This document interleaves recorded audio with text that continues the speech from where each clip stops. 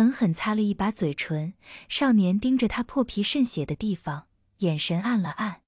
他指了指自己的喉咙，蓝曦臣这才把他的禁言解开。他已经死了，你不如跟我，我会对你好的。少年走近，搂住他的腰，他的个头还没蓝曦臣高，看起来倒像是蓝曦臣在抱着他。放肆！蓝曦臣一开始被他身上熟悉的气息蛊惑，但瞬间理智就占了上风。朔月立刻架到了少年脖子上。少年暗骂一声：“你赢了，老男人。”呵，他身体里有人一声低笑，像是对这个结果非常满意。让我和他度过剩下的七天，最后一份碎片找到之后，我就和你融合。体内的人默声片刻。终是和他达成了共识。蓝曦臣跟着两人，看着他们难过的分离，心里也一阵痛意。他捂住胸口，断断续续的碎片在他脑海里浮现。家主少年走近，架住他的身体，扶着他坐到街道边的台阶上。一个石子砸落在他脚边，街道旁正在玩乐的孩童都围了过来。大哥哥，蓝曦臣叔弟睁大眼睛。他跟少年对视一眼，眸中划过惊异。前些日子分明是不会被幻境里的人看见和感知到了，难不成这里面出了什么岔子？是他们，他分明已经给这些人设了一层结界。看样子他们中有人受到蛊惑走了出来。这小孩已经没有灵识了。这一晃神，跟着的男人已经不见了踪影。把他引走。少年眼神波动了一下，引到哪里？引到阵眼处，那里还有一个幻境，可以让他暂时陷入沉睡。有什么可遮遮掩掩的？让他知道心疼心疼，还能给你点甜头。要不是他把你扔在这里，还没看好那些恶灵傀儡，也不至于让你肉身尽毁，魂魄四散。不是他，那也是因为他。哦。我忘了，人家还把你扔在这里十几年，全然忘记还有你这个人物。少年跟他在脑海里吵架，一边有意识地带着蓝曦臣往祭坛的方向去。往前三步，男人指挥着他停。蓝曦臣手握列兵，皱着眉仔细打量周围。怎么了？这里不对劲。蓝曦臣回头对少年说：“坛心的火焰跳动着。”微风拂过，却没有任何变化。他发现了，你站到他右边，按一下弹座底下的凸起。男人笑了一声，像是意料之中蓝曦臣的敏锐。咔嚓一声，蓝曦臣惊愕扭头看向少年，地底下的藤蔓破土而出，迅速缠上了他的身体，一眨眼就随着坍塌的弹座陷入了地底，地面恢复如初。蓝曦臣想知道他经历了什么，可对他来说，那些记忆太过痛苦，更何况当时的他还短暂的怨恨过画儿。幻境已经开了十几年，他的碎片一点一点都聚拢到了这具新的身体。今年就是最后一份碎片，只要能顺利归位，他就能改头换面，做一个正常的人，不用被温室的过往拘束，也不用浑身黑气缠绕。被藤蔓禁锢着的人正闭着眼沉睡，蓝曦臣被带到了地下的一个山洞，藤蔓上的毒液有麻痹作用，正一点一点渗入他的皮肤。现在干什么？你去找碎片，我守着他。男人一如既往的黑心，那是你的事儿，为什么让我去？我不去，我在这儿守着他，你自己去。男人低声笑了声，行啊。你要是还想让我保留这段意识，最好马上去，不然一旦融合，算了算了，去就去。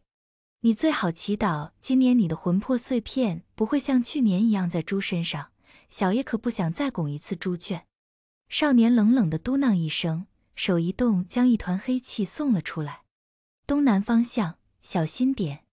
黑雾笼罩的人沉声道，声音里带了一丝担忧。哼。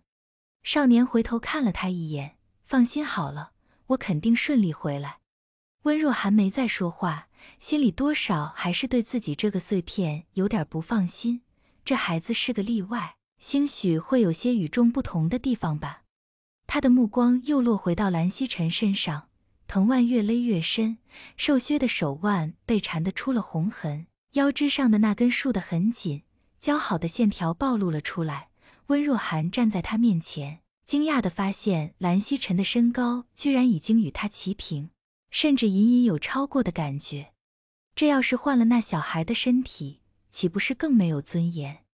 蓝曦臣的呼吸越来越微弱，温若寒沉了沉声：“松开点。”正兴奋地缠着的藤蔓哆嗦了一下，委委屈屈地松了松。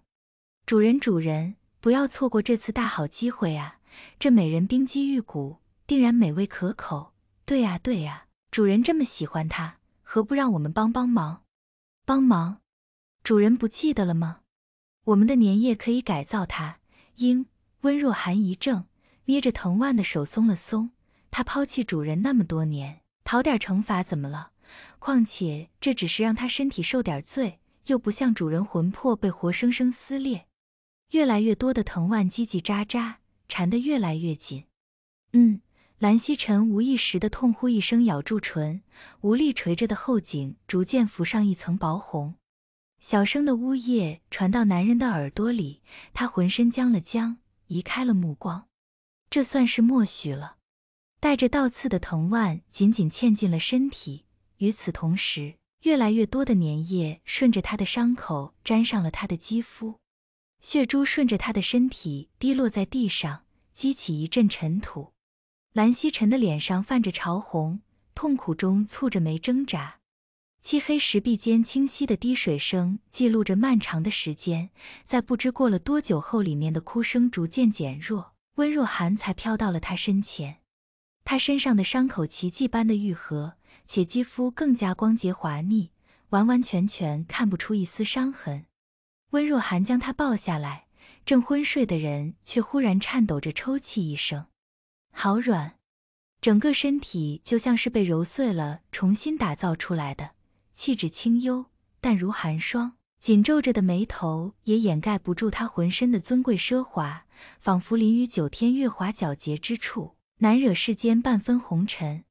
碰一下，就像青翠欲滴的含羞草一样，颤抖着蜷缩。短短几步路，他身上泛起的红晕，仿佛能将他灼烧殆尽。低喘的热气吐息在男人怀里。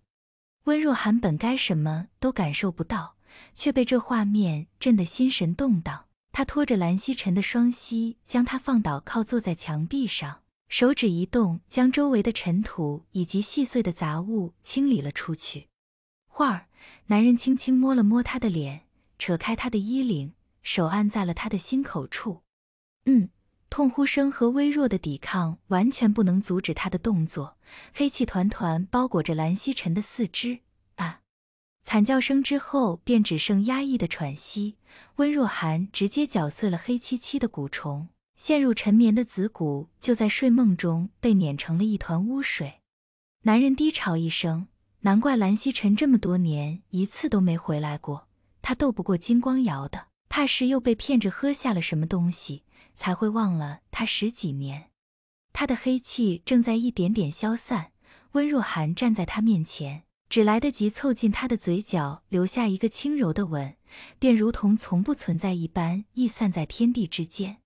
家主垂落在地上的手指动了动，控制不住的泪水顺着男子的眼角滑落，流淌着的孤独与寂寞，终于在多年以后以另一种方式宣泄出来。那一泼泪水源于羁绊。是分离多年无法求渡的沧海，我回来了。